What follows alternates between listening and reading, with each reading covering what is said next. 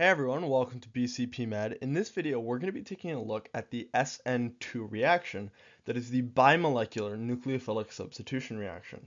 We're going to be taking a look at the nucleophile considerations, the polarized transition state of the SN2 reaction, and how the stereochemical inversion, aka the Walden inversion associated with the SN2 occurs.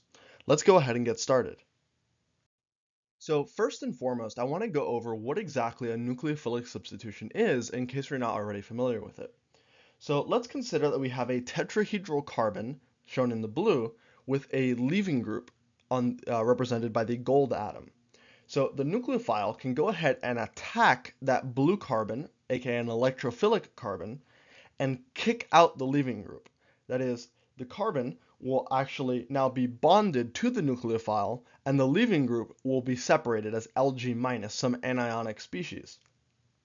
So the overall process for a nucleophilic substitution is that the nucleophile attacks the electrophilic carbon that possesses a leaving group, and then the nucleophile forms a new bond to that carbon, kicking out the leaving group, breaking that carbon-leaving group bond, in effect substituting the nucleophile for the leaving group on the carbon.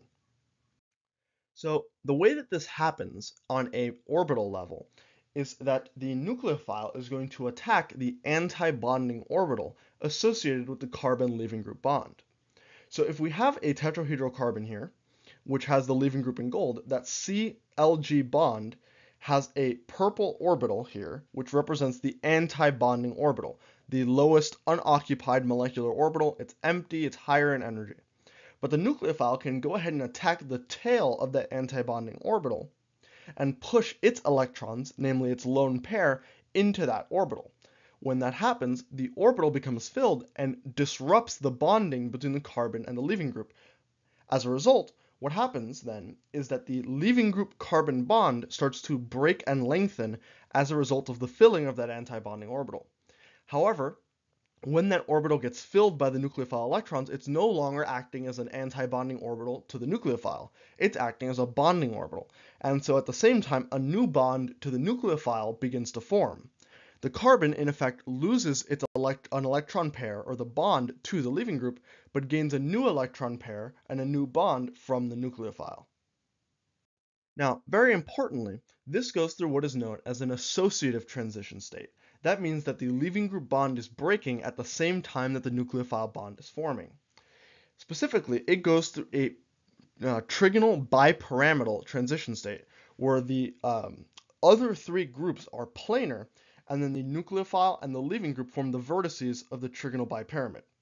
This transition state is heavily polarized, which is to say that the leaving group and the nucleophile both carry a partial negative charge. The nucleophile because it had one to begin with when it was attacking as a result of the lone pair or its negative charge density, and the leaving group because it's receiving the electron density from the carbon bond. So you can see that the electron density is in this transition state being pushed from the nucleophile upwards towards the carbon and then from the carbon towards the leaving group, right? Again, this transition state is associative, meaning both of these things are happening at the same time.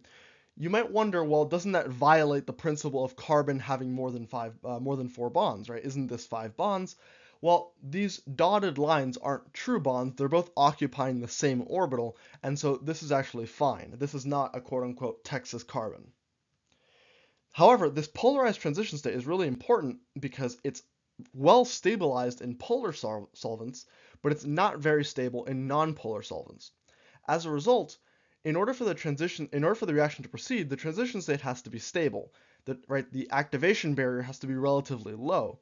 And so SN2 reactions are highly dependent on solvent polarity. They are what are known as polar reactions.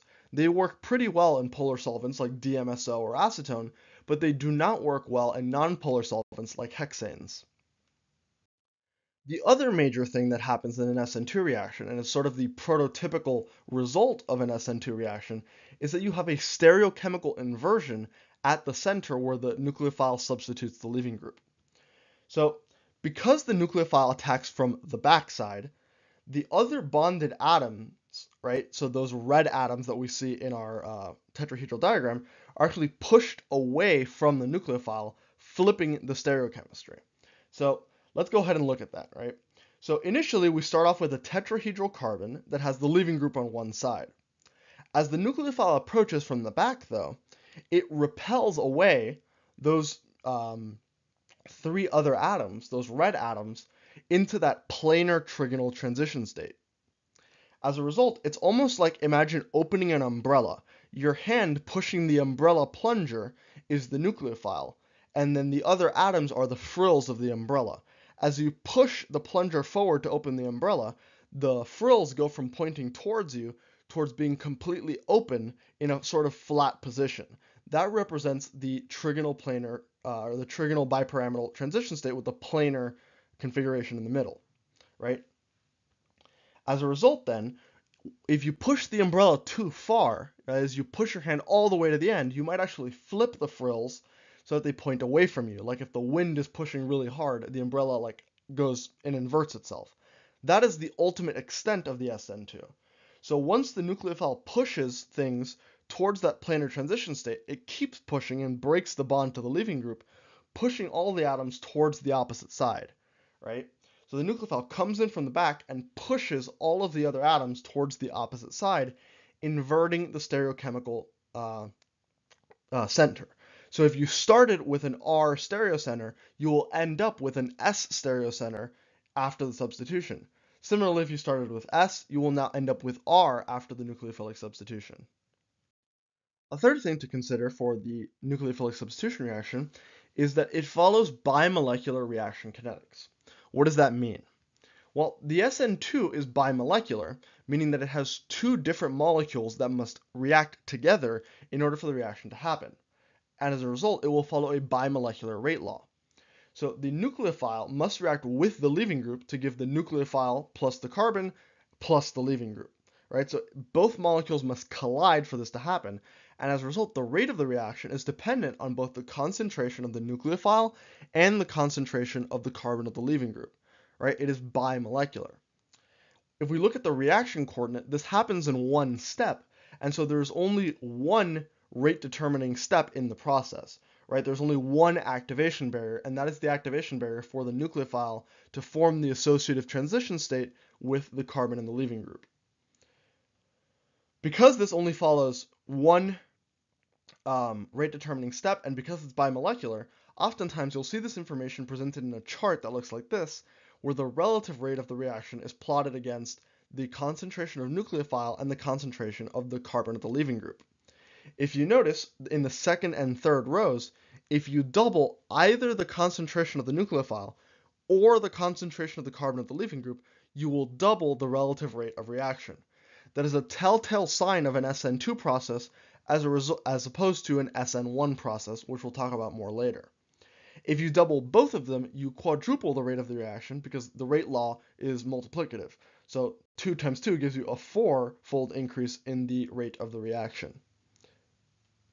Finally, I want to go ahead and leave you with a quick animation which will summarize the whole process of the SN2 reaction, including the stereochemical inversion, so that you can visualize it in a more dynamic manner.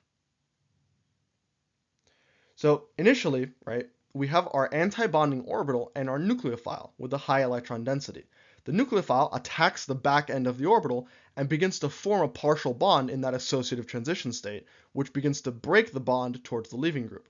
The nucleophile then pushes all of the atoms upwards into that planar transition state, pushing the electron density off onto the leaving group, eventually pushing it all the way towards the ultimate extent, breaking the bond to the leaving group completely, and then leaving you with a full new bond between the carbon and the nucleophile in the inverse stereochemical position. That is a new tetrahedral substituted carbon with an inverted stereochemistry at that chiral center. And with that, we've actually reached the end of the content for this video. Thank you guys so much for watching, and if you enjoyed what you saw, please like and subscribe to the channel. If you want to learn more, check out our other videos in the chemistry playlist, and if you're looking to branch out, check out our other science playlists as well. Thank you so much for watching, and see you next time.